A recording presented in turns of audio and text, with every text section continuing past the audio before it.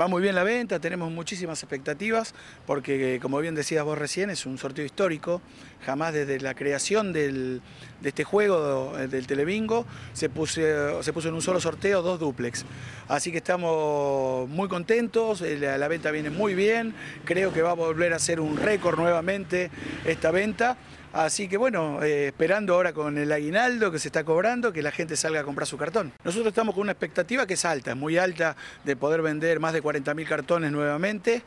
Eh, y de esa manera terminar un año que había arrancado muy pero muy difícil, pero con, este súper extraordinario vamos a terminar no solo con una premiación que nosotros habíamos soñado desde el momento que habíamos asumido, sino también con los números equilibrados del instituto que es muy importante. Que vamos a tener un cierre pero de primerísimo nivel como son los nocheros, pero además también hay una sorpresa muy importante que hablando con el señor gobernador nos dio un pedido muy especial para lo que va a ser la acción social en esta oportunidad y 500 mil pesos van a estar eh, dirigidos al CABIN de Comodoro Rivadavia este centro de atención tan importante que contra la lucha contra el cáncer, ¿no?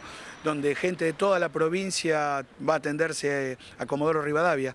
Así que eso también nos llena de, mucha alegría que con el apoyo de la gente eh, en esta oportunidad se pueda destinar esta gran cantidad, esta suma tan importante de dinero a una institución tan importante como es el Cabín. Estamos cerrando eh, de acorde con lo que salga este Televingo, creo que nosotros vamos a cerrar con los números equilibrados. O sea, ¿esto qué quiere decir? Nosotros arrancamos perdiendo más de 50 millones al año.